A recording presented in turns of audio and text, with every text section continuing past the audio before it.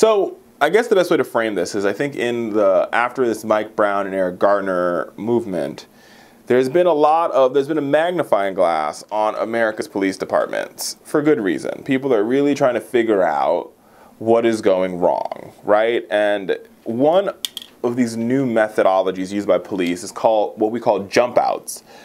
Um, some people call it smash and grab same difference. Basically, what happens is there'll be a group of young people, usually, you know, black and brown men, and, you know, out of nowhere, police and unmarked cars and unmarked vehicles sort of show up and just BAM!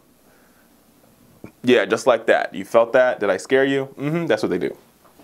Um, now, we've seen this in a lot of places. And, you know, I'm not going to lie to you. Um, disappointingly enough, we're seeing it right here where we tape the Fowler Show in the District of Columbia. Now, I I'm to be, I will be 100% honest and frank. Out of most of the police forces in the country, I have a lot of respect for the DC Police Department and Chief Kathleen Lanier. Um, and full disclosure, I've worked with this police department before in previous in a previous life, and I think they're great. But I do have a problem with this jump out strategy and how it happens. And this is sort of explained in a first hand narrative, and the link is below. But pretty much, you know, 10 to 12 officers just appear out of nowhere. They frisk everybody down. Next thing you know, people are in handcuffs. You're not really sure what the crime was. And, you know, it's pretty much over. These are sort of what we would call in America, you know, very, very, very, very militaristic and arbitrary uh, and reeking of racial disparity type of, you know, police actions.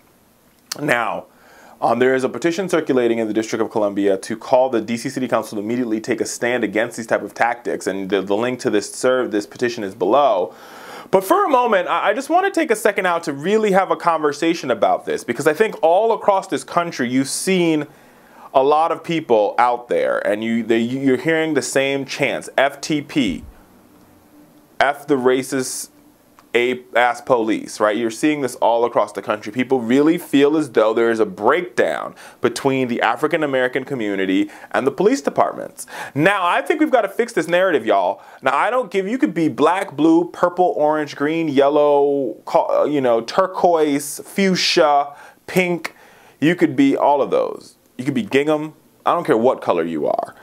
Clearly, there is a multi ethnic movement black, white, straight, gay who are saying that there's a problem in this country. And it's not just one person saying it, it's not just happening in one city, this is happening all across America.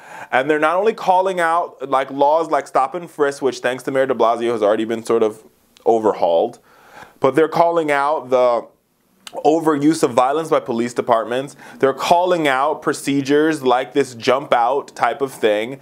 And they're saying that we indeed have a problem when prosecutors are way too close to police officers. Now, I also like this president. Uh, well, I used to. Let's be real. Um, I think that, you know, he's missed the mark on a lot of things.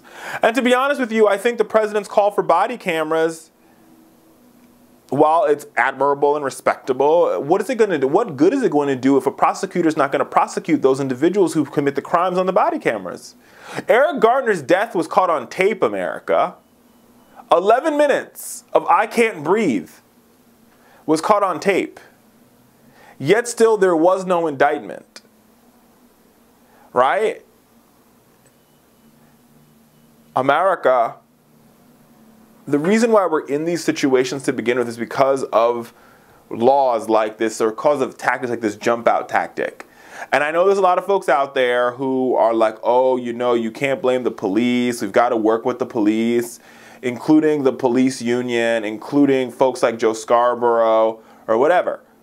We, I don't think that the protesters are saying that we don't need to work with police. I think we all agree and we all understand that the job of the police is to protect and serve the community. The question becomes is when the police blur that line and they go from protecting and serving to pillaging and ruining the community. And that's what we see. That's what took place in Staten Island, New York. That's what took place in, uh, in Ferguson, Missouri. That's what took place in Cleveland, Ohio. When they blurred the line and they began to go from protecting and serving to pillaging and destroying communities. America, we have a big problem on our hands. And I think, you know, this is not something happening in Mississippi. or happening in, you know, uh, you know, northern Florida, even though we've had stuff happening in northern Florida. This is happening in New York City.